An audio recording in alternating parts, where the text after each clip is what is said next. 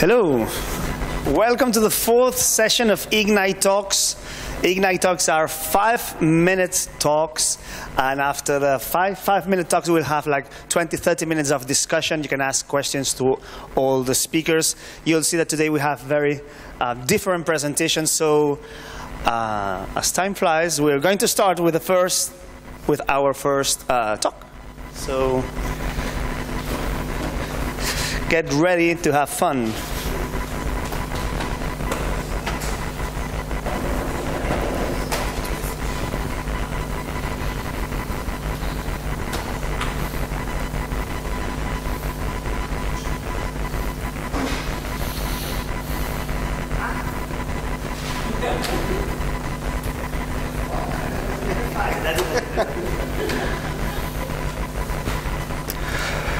Hi everyone, uh, I'm Bastien Guéry from OLPC France, and this is Lionel from OLPC France too.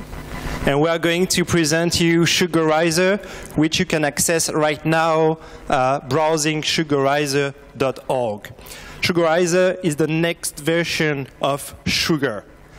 What is Sugar? Sugar is a free software environment uh, that run on the one laptop per child IXOs.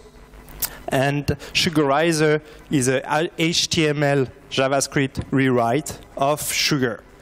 And with Sugarizer, we had this very opinionated goal to run it everywhere, on every browser, on every platform. And uh, Sugar is the child of a big family of powerful ideas. It started with Seymour Papert and Cynthia Solomon logo back in the 70s. And then Alan Kay came with Smalltalk and Squeakland, and then Scratch, that everyone knows today. And Sugar, the environment for the OLPC IXO, was the host for all these powerful ideas in education. Sugarizer, as a rewrite of Sugar, is the same host for all these powerful ideas, and we want to spread this along. And the Media Lab was central in um, bringing all these ideas, but now, thanks to Sugarizer, we can spread this everywhere uh, in the world. So Scratch 2.0 uh, relied on Adobe, which was a closed environment. Uh, Sugar relied on Python, which is not a closed environment, but the stack for developing Sugar was too closely tied to the GNU Linux platform. And Sugarizer as a HTML JavaScript environment uh, and uh, you know, spread uh, the, uh, the audience for developers and users. So the fact that Scratch 3.0 is HTML JavaScript and that uh, Sugarizer is also HTML JavaScript uh, brings new promises in terms of integration and collaboration. So more precisely, what, what is Sugarizer? So it's a warm view of Sugarizer. If you already know Sugar, it's precisely the same, of course, of that Sugar. Uh, in, in show, it's a very simple UI because, of course, it's for children. So uh, it should be very simple. You've got the, the user at the middle. Uh, it's a little main in the middle, and you've got activities all around the, the, the children. Uh, we, have got today bundle in Sugarizer about 30 activities, and it's growing. One important con concept of Sugarizer is, uh, is a journal and reflection. Uh, it's a way to uh, to re retrieve the state of the activities you've done in the past. So in the journal, you've got a log of all activities that you've done in past hours, minutes, days, and weeks, and you could just click on the activity and you re reopen the activity in the exact exact state that we, you you leave it a uh, few few days or few few hours ago. Another important thing is collaboration. So you could play with other users on the platform. So here you've got the collaboration view. Uh, it's a way to see all other users connected on the same server. And you could see that you could play with other users. Here you've got two users that play together to the paint activity. And they, when one user draw on the on this paint activity, of course the other users says, could see exactly the same in this activity. Uh, what is important, it's, it's, it's very easy for a developer to add this collaboration activity for a new activity.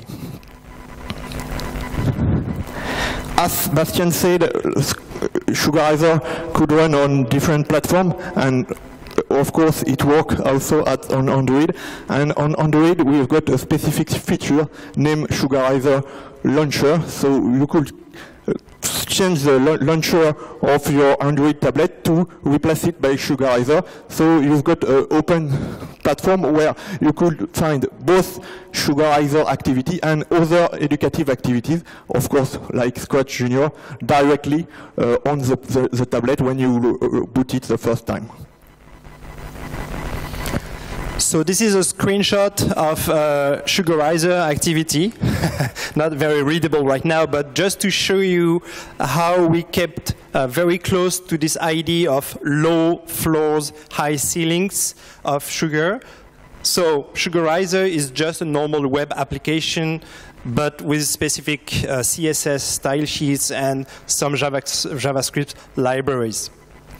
Um, Lionel started the rewrite four years ago. So Sugarizer is a very major project. It's a free software project, and you're welcome to contribute with any bug report or code online on this uh, GitHub uh, repository. And thanks for listening.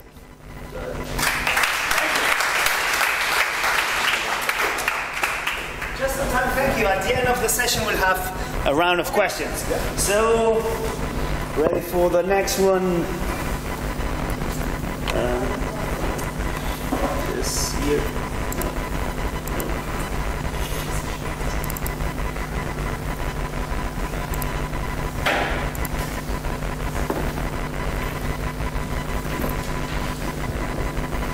See if that microphone works.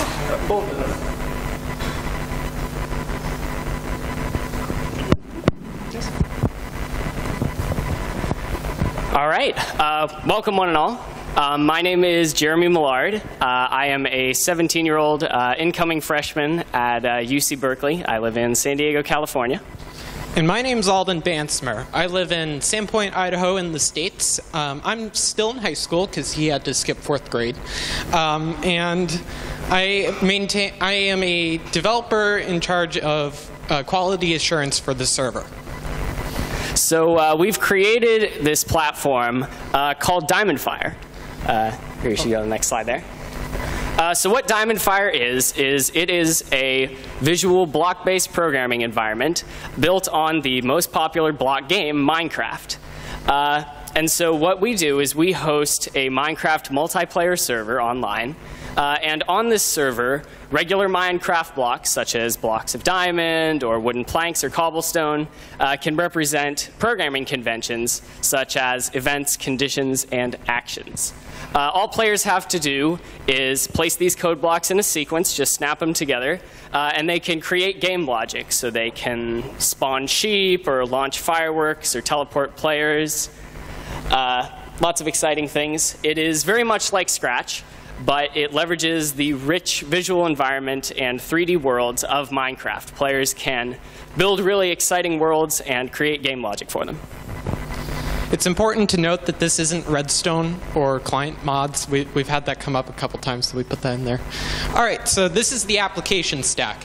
Um, at the most bottom layer of our multiplayer server, we have a Microsoft server, excuse me. Um, On top of that, we have uh, the Bukkit API, which is basically an API that lets us access the more deeper components of a Minecraft world, such as moving blocks around, entities, etc. So we use that API on our platform Diamondfire, along with a little bit of MySQL to store player data, and players can connect to this server with a regular Minecraft client. So uh, the platform currently uh, sits at around 25,000 lines of code, I think, uh, and we have had over 80,000 unique players uh, try out our platform. So this is a block sequence example. To start any line of code, you always start with an event. In this case, when a player right-clicks.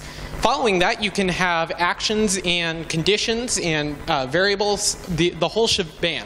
Um, in this example, we have a condition statement if the player is sneaking, and the two pistons on the side represent brackets. So put stuff inside the brackets, and it'll run when the statement is true.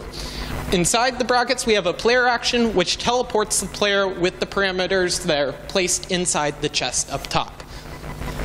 So we're going to show you a uh, short video of uh, how a player on Diamondfire uh, might do this coding.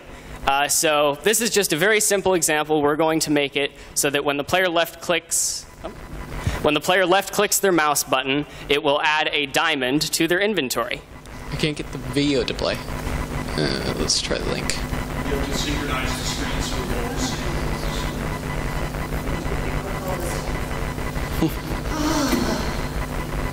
Make, make both screens the same. Sorry.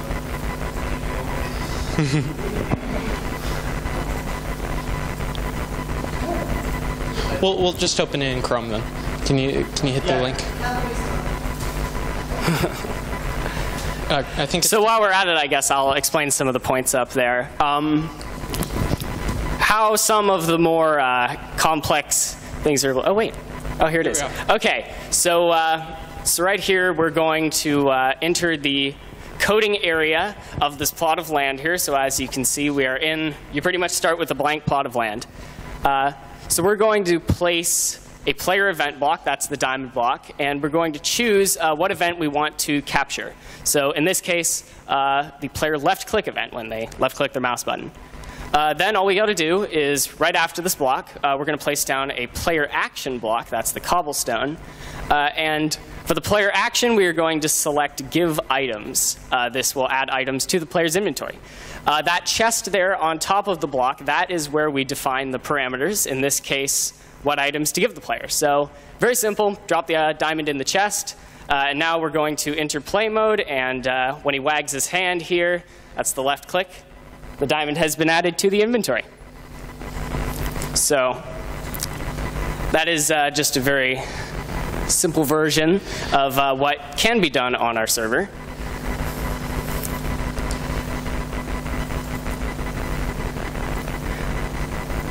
we got it.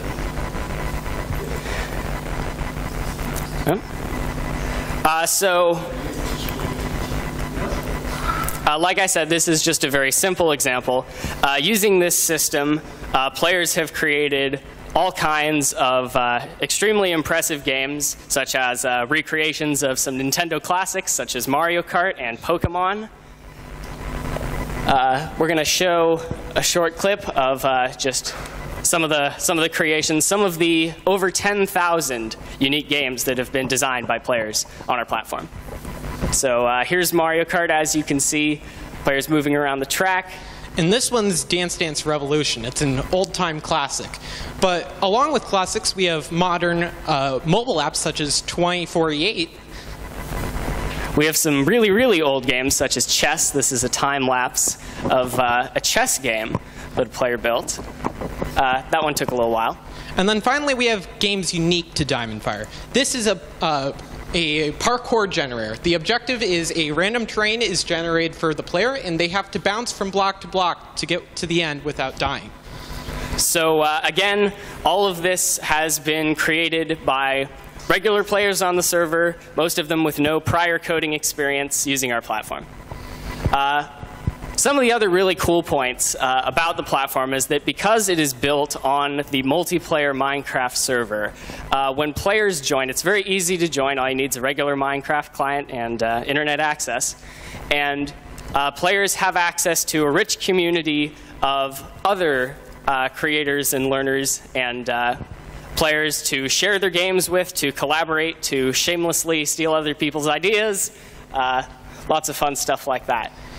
And for new players, we also have a dedicated volunteer staff team. So if a player does not know what to do or has any questions about how to code in Diamondfire, they can request support, and in most cases, a player will be on to assist them in less than five minutes. With this setup, we have a thriving community of about 4,000 games each year that we've seen running. And it's a powerful educational tool because it's built in a popular platform, Minecraft. So uh, I think that just about wraps up our presentation. Um, we'll take uh, questions during the question period. There's contact info for us. And we have an unofficial workshop slash demo right after the Ignite talks. So if you want to stick around for that, we'll demo the platform. And uh, if you want to try it out for yourself online, that is the Minecraft server address, mc for Minecraft, diamondfire.com. Thank you.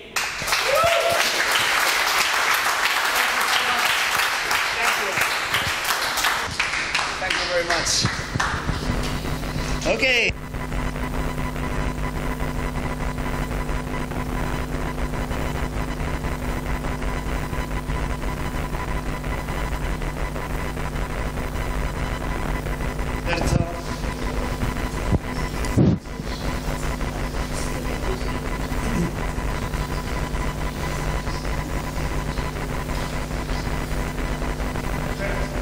Yeah. Hi, nice to see you. I, I, I saw you already the other days, but you were very busy. Uh, sorry for my English. Uh, my first language is Piemontese, my dialect, so I'm sorry for my English. I'm trying to uh, be uh, most clear I can. Um my name is Alberto Barbero. I am a, a professor in computer science in a technical institute in uh, Piemonte, Italy uh, a region on the border with France. I also teach uh, at the University of Turin. I'm teaching coding to future uh, teachers in primary school, and I published uh, uh, some books for uh, in computer science and uh, coding for Pearson, Italy. Okay, I'm here to talk about this project called. Scratch for Disability. Uh, I belong to this association called Dschola, Digital uh, Scuola, uh, Digital School. Okay, is an association uh, that is uh, uh, a network of schools for schools. Um, we have the purpose of encouraging ICT innovation in schools in Piedmont and Valle d'Aosta. We our organization is a network of ski of key schools uh, that are spread all over the region, and uh, we are providing assistance, advice, and training to the school of the area um, um, about uh, technologies for network connectivity, computer lab management, uh, secure browsing, uh, coding, uh, use of netbooks, tablets, and smartphones in classes. And we also organize uh, uh, workshops, seminars, and uh, this year was the we organized the sixth number six, sixth edition of the Italian Scratch Festival, uh, a competition, a contest between Italian schools uh, in the creation of uh, project in Scratch. This year we opened the competition also to primary and junior high school.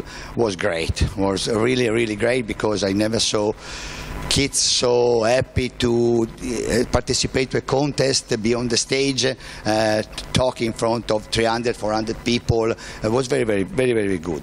Better than with the uh, adolescent, with teenager, was even better. Uh, on one second. Okay. Um, the using of code in Italian classroom, is increasing year after year, from primary to high school. Uh, for sure, Scratch is uh, uh, one of the tools mostly used because of, of all its features, you know very well, and user friendliness.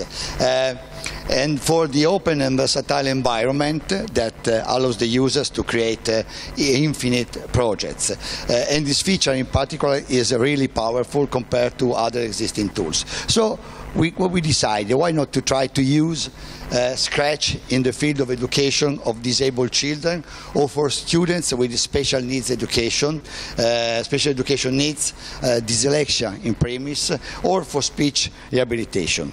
So we decided to start with this project called Scratch for Disability. Uh, with the, the following purposes. Uh, first, we want to train, we want to teach uh, the use of Scratch to special education teachers, speech rehabilitators, and other people working with uh, disabled children. Then we want encouraging them uh, to uh, try to use Scratch with those kids and at the end collect all the experiences next May, all the experiences, and analyze the, uh, the result to understand uh, what coding works well for special needs education and rehabilitation. What we have done, uh, um, we had the first convention in Turin uh, to launch the project uh, in uh, March 2017, and we were surprised because more than 200 uh, people, uh, especially teachers and um, and speech rehabilitators and psychologists, were attending it. And after that, we collected subscription to the program. And in October 2017, so in, in a few months, we are, start, we are starting training classes in Scratch all over the Piemonte region. Okay? Uh, at this moment, more than 220 people, mostly special education teachers and speech rehabilitators from all over uh, Piemonte, have already signed up for the project and they are going to be trained for a total of 12 hours of coding okay to start and then we, are, uh, we have different uh, meetings along the, uh, the school here here to understand what they need. Everything is for free, okay? We don't get any money, everything is for free. Due to the arrival of additional requests, we will reopen subscription at the end of summer. Meanwhile, we are in the process of developing tools uh, for training future trainees. Uh, we hope to have them available for sure in September, ready to be used and shared. Uh, we are going to create a set of exercises which will help new trainers uh, develop additional ideas and make further further suggestion for Scratch user, use in children's daily activities. Um, in the future, May 2018, where with the collaboration of the University of Turin, we will collect all good practices and uh, we want to evaluate the effectiveness.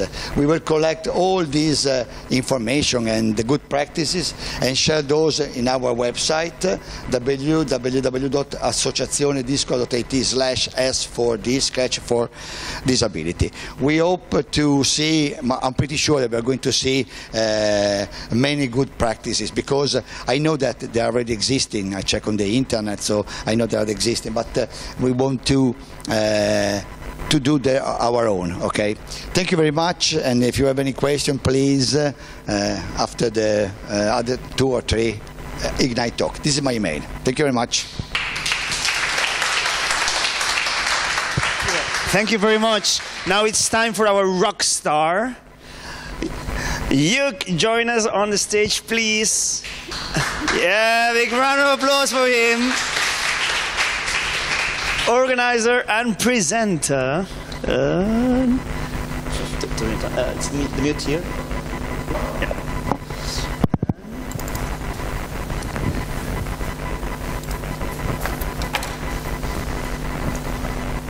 You ready? I'm ready. Good. Oh, there's a timer. Um, yeah, welcome everybody. Uh, incredible, so much people here at the end of a long day again. Uh, this is Joek van Montfort, and uh, I'm organizing this conference. As part of it, I set up a system for collecting proposals, and to test the system, I put in this one-liner. So it works. I'm in. Um, I was accepted. Um, and I just will tell you a few minutes about how I came here. I'm a little over 50 years, so these are all pictures from the 60s uh, when I grew up. And um, the environment was heavily influenced by the US uh, as well, I, I, self lived in the US 69, 70, but friends lived there uh, 63, 64 in Berkeley, and there were wild things going on in Berkeley in, the, in those years, especially with the education of youngsters. So there were, well, there were, uh, I went to the first kindergarten in the Netherlands, which was totally Berkeley inspired. And there we could do everything we wanted. Uh, it was an old house where one of the rooms was a full-size sandbox. This is the sandbox in my. I have rich parents with a garden, and in the garden was a sandbox. And um, the the title of the talk is inspired by Mitch Resnick's quote. uh, Scratch is our attempt to bring the sandbox to the screen. That made me thinking, why, why bring the sandbox to the screen? And looking in my own photo books, I realized that I had a lot of fun in the sandbox. And, um, and yeah, uh, you know, until this age and a few years later, so the, the years before I went to school, I was learning 24 7. I was learning, no, it was impossible not to learn. I was also learning while playing, and I was especially learning while being in the sandbox. And I didn't know I was learning, I didn't know what I was going to learn, and there was no lesson plan here on the side. And um, yeah, if you that that sounds like the holy grail, you know, if you get, can get such powerful learning environments inside the computer. Um, okay, second track. I'm a mathematician, I worked for the Dutch railroads and I switched when my children were five, six years old and at school they were pushed in computers without a plan. And I thought, well, let's try to do something creative with these computers. It was extremely complicated, nobody was waiting for me. And um, but I wanted to do something with the computers which would enrich their educational experience instead of uh, early introduction to office life. Because that was the idea that most schools had about computers. It would be handy if people understand Windows or Office. And later on, if they can Google. And, um, and I was thinking, no, that uh, the computer has some benefits which you can do only with a computer. Let's try to do, well, anyhow. And it, it took a while, and then I encountered Scratch, and since then we are family. Um, and over the years, I learned that Mitch Resnick and team did an incredible job bringing the sandbox to the screen. Um, but there's another question, totally different question. That was the question I was working on. To use this screen in an educational environment. So the, the mission I'm on is probably, Scratch was developed for the computer clubhouse. My mission is probably to bring the computer clubhouse inside the school. And every now and then I think, why don't schools do yeah, the, the, the, the, things that has to be done, road drilling uh, in the morning, so that we have some time for real learning in the afternoon. Why don't, yeah, yeah like that. Um, that's why I'm here.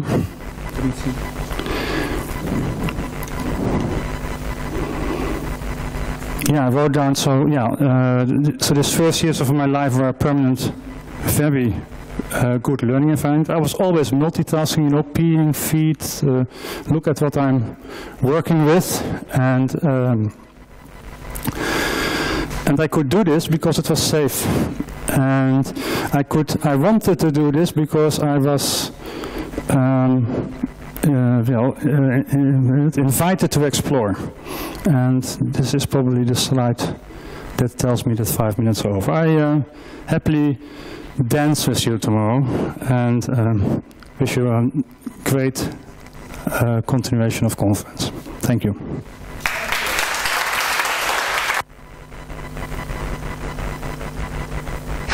Thank you, thank you very much. Um, we've got one last presenter, that is me.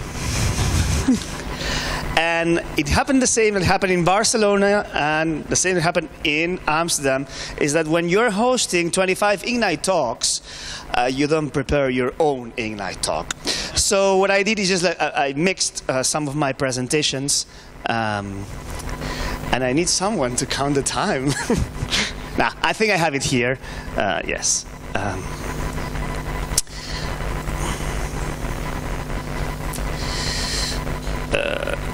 Yes. Okay, I'm Frank. I'm from Barcelona. I'm a primary teacher, and I've been using Scratch for almost 10 years. So now, um, when I think, uh, when did everything started? So I think it started just here. it's 1989, and yes, it is me. And I found this picture, and uh, here I was doing this. I was programming with uh, with Logo. So I think that's the really the start of everything was there because time passed and one day I decided that I wanted to be a teacher. And when I decided to be a teacher, I had a problem because um, I, I, was very worried with the relationship with, between media and uh, children. So in schools, we ask our students to write newspapers, uh, to record some radio thing, and even to, to record some um, news, advertisement, TV. Uh, I remember uh, when I was a kid, uh, my teacher with the camera and the map of Spain, and the weather in Cantabria, blah, blah, blah. Uh, but what happens to video games? Our students were using video games, but they were not creating video games. And they were not creating video games because uh, it was very difficult for them to do it till Scratch appeared. So um, in 2008, uh, my students uh, wrote their own video games and published them online, and they were really, really, really happy. But I didn't have enough. So uh, after that, I discovered the microphone, the power of the microphone. You just plug a microphone. Here you have a story. It's an interactive story. Uh, there's a girl. He, she has a party, uh, but their hair is. Um, uh, very wet. So they create a cardboard hair dryer, just plug in a, a microphone, and when they blow, the loud noise made her ah. So she was ready for, for the party. So these two girls were creating a story um, using the microphone. But I didn't have enough, so um, wow, I discovered Lego WeDo. And my students then developed interactive stories uh, that had um, um, a reaction in the real, in the physical world, and they made these attractions for a, for a park. But then I discovered Makey Makey. And my students, they make amazing projects mixing music and flowers and everything. It was wonderful. This is a spring, um, a spring welcome piano. Um, so, uh, but I didn't have enough. So, um, I, I, met this, this kind of robot, it's called ISOI, and my students use it to make theater plays theater plays. There were two robots that can talk and can be programmed, of course, with Scratch. And, and you can see the beautiful costumes. And as you can imagine, um, I don't know how to sew. So we asked the grandmothers of the students to come to school and to help them to design um, the costumes. So at the end, 10 years after all this is why am I doing all this? And I love this quote from uh, Mitch Resnick. No? For us, coding is not a set of uh, technical skills, but a new way of literacy and a way of expressing themselves. So when I see all these pictures, I see how my students have expressed themselves, how they have told stories to the others, how they, can, they have shared video games, and, and that's it. Uh, it's three minutes and fifth or something. I have one more minute. I have one more minute for one just last slide. Because um, if you remember, the title of my talk was Our Journey with Scratch. Uh, so my journey with Scratch, it, it is impossible to, to describe without this this three amazing Scratch conference in Europe.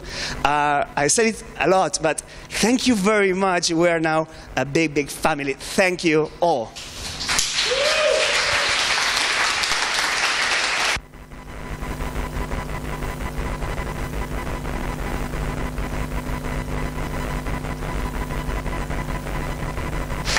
So now it's time for questions. So I will ask all the speakers to join us in the stage. A big applause for them also. And I'm sure we've got questions for all of them.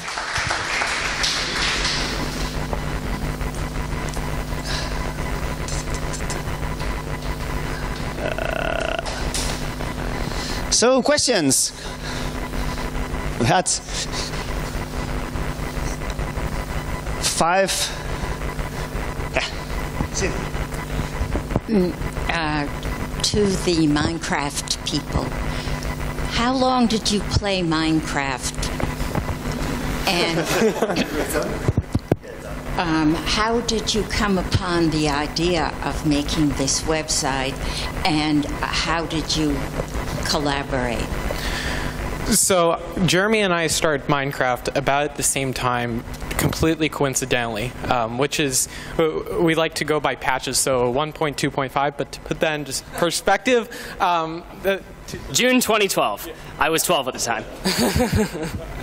um, I uh, had the um, idea to do the server. We we didn't actually know each other at all um, until I I ran uh, a Minecraft server just sort of for my own personal enjoyment, um, where I coded games onto it in Java for I think about a year and a half. Uh, that was around I think two and a half years ago.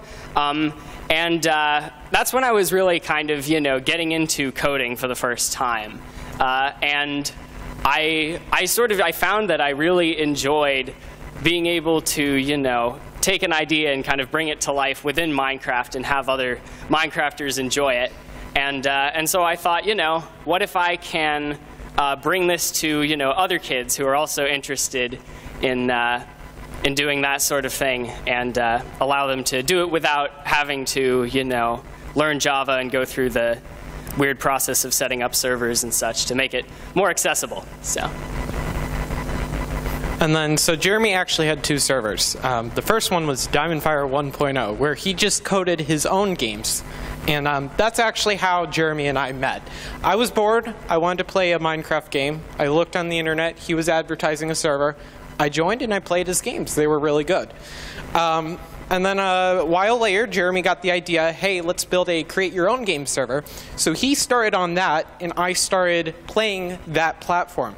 And I am kind of a proof of concept for the platform because I started on the platform before I started coding on the platform.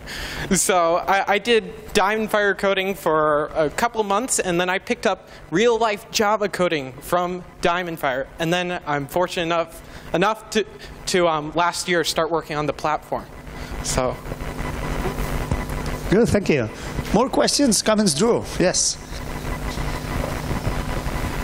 Thank you also for um, Alden and Jeremy. Um, your story as a teacher um, I, I, find your story inspirational as I was at the Teach Meet last night, and you're a credit to to the, you know, your generation for how you've chosen to take something that uh, many many kids will use and not do anything as inspirational as you have. They'll just be passive players, whereas you have chosen to do something better um, than that by actually creating something that's a benefit to them. So well done for that.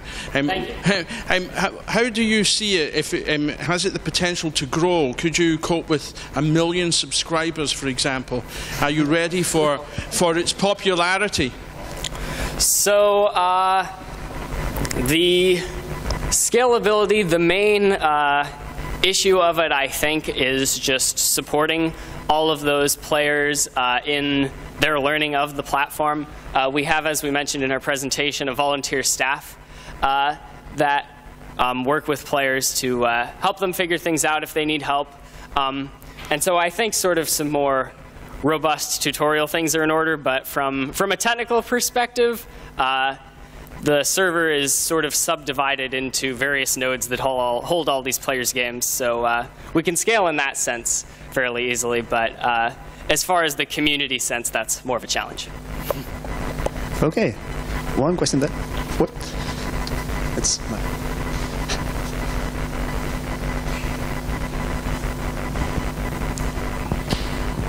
So, uh, Minecraft gang, you're awesome.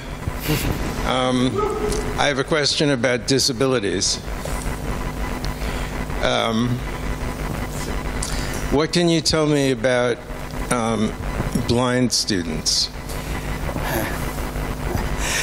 Good question. I don't know. I don't know what to tell you. Uh, in my school, uh, um, uh, as I remember, we had uh, two or three students uh, with that kind of problem, and um, fortunately, the, the health department, local health department, they have a, a very smart guy who is uh, uh, in charge of uh, bringing to school all the tools they need for, uh, for, for, for their daily activities. Uh, so we, don't have, we didn't have to worry too much because uh, uh, the public system in Italy uh, offers that kind of, uh, of tools for free. Uh, I guess magnifier or uh, uh, special software for computer. Um, I, I don't know about Scratch and that kind of disability. I really don't know because it's something new for me, so I don't know what to answer. I only uh, can tell you that uh, in my experiences, uh, uh, other people, expert in those kind of technologies, provided us all the technologies in need of these kids. Good. We still have time for two, three questions. Okay.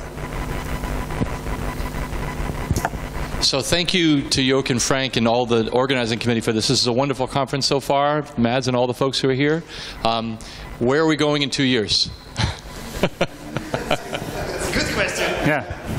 And then I ask a question as well. Um, well, I'm, uh, it's not up to me, um, but if it was up to me, it would be in Africa, and with me supporting it, but not organizing. Really, I, I, I've, I've, done my part. and I have, I don't know if you are allowed, do we, are we allowed to ask questions to each other? Of course, of course, of course. This, this is Scratch Conference, so um, I was just wondering why the two of you uh, made your proposal to a Scratch conference and not to a Minecraft conference or whatever conference. Um, I did actually submit a thing to uh, Minecon uh, last year. Um, wasn't picked, you know. That's the short version. Ooh. And the other issue is I uh, lived in Indiana, which is the Midwest portion of the United States at that time, and the parents said no. So But in the Scratch conference, you're allowed to travel from your parents. Well, well, I think uh,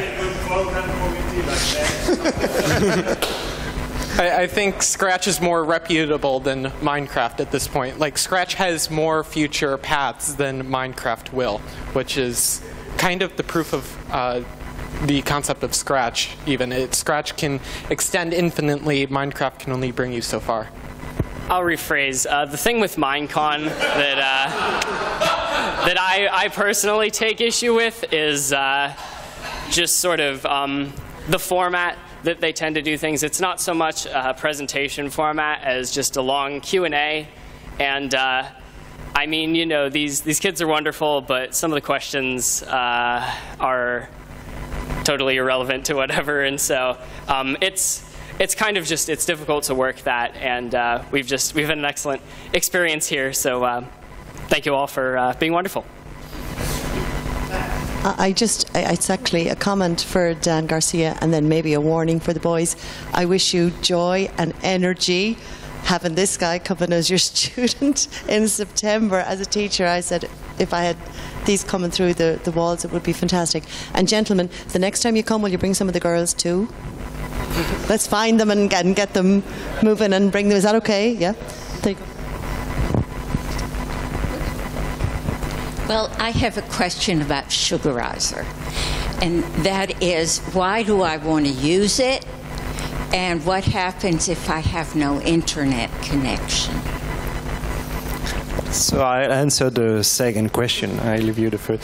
The, the, Sugarizer uh, today is used in two schools in France, and they have no internet.